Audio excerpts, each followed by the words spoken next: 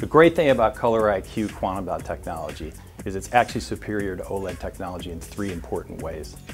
First, it provides 20 to 30% wider color gamut than OLED technology.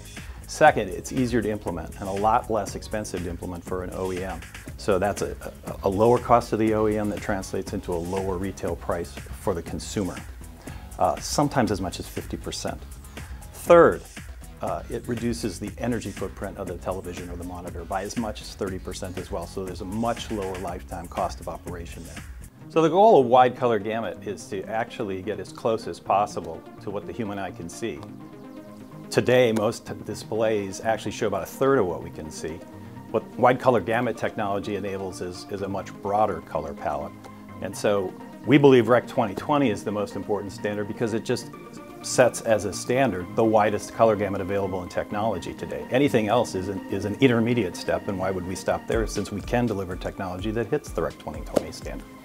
So we in the consumer electronics industry uh, have to come up with a reason to buy. Um, and in this case, uh, it's an excellent reason to buy wide color gamut because it's very visible to the consumer when they see a wide color gamut television that shows twice the colors uh, of today's televisions. It's a consumer benefit that people can really experience. But it also satisfies the need in the consumer electronics industry to sell another upgrade in technology like 4K and this year um, high dynamic range. And Quantum Dot is one of those solutions as well. It's another way to improve the quality of the user experience.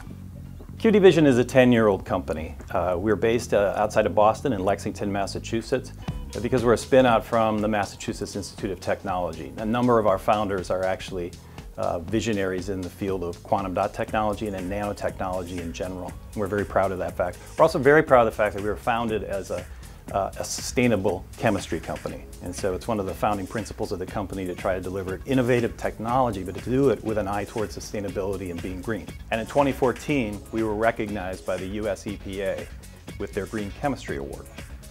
So if you have any other questions about quantum technology in general or about our Color IQ solution, I would encourage you to go to our website. It's at www.coloriq.com.